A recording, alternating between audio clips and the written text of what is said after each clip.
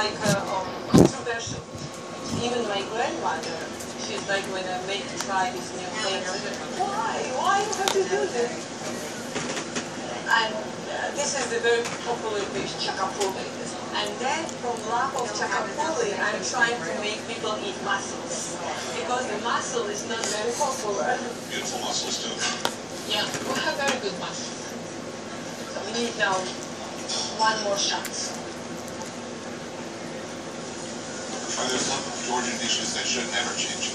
I always feel like there's stronger way to preserve the original dishes. It's good to have this original version, but I'm giving the other option to do something new. In my vision, it's always to have a choice. I think it's to do here. The city is- the countryside is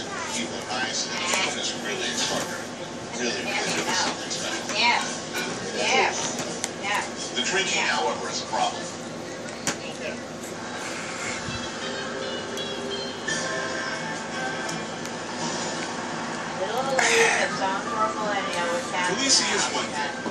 An increasingly modern city, smart cafes, boutique hotels, shops, galleries, the inevitable store of hipsters. But outside the city, it's not so different than it always was.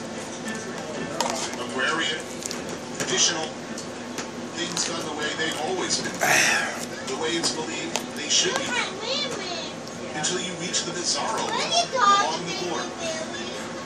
Only 90 kilometers northwest from Tbilisi, in villages like this one, Kurvaleti, where tiny Georgia's predicament becomes clearly and brutally under focus. I got Harry.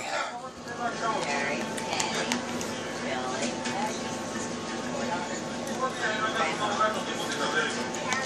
Over there, the Russian-controlled breakaway region, formerly Georgia, was South Russians took in a five-day war in 2008. It's Russia now. This side of the wire is, at this precise moment anyway, Georgia. But who knows? The border has been known to inch hmm. forward unpredictably, often in the dead of night, to the point that families have gone to sleep in Georgia and woken to find themselves living in Russia. Swallowed up overnight.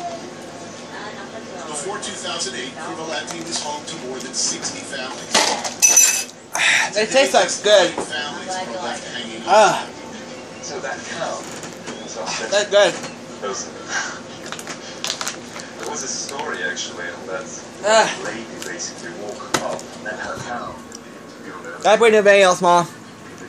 Ah, And so she would walk up every morning and would milk ah. to get her milk. Mm. That's like a needles in here.